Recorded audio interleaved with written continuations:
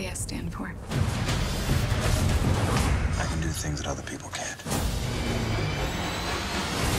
Only Walmart Premiere Night lets you see Man of Steel one day before anyone else. Keep testing your limits. See the movie June 13th. Advance tickets on sale at Walmart now.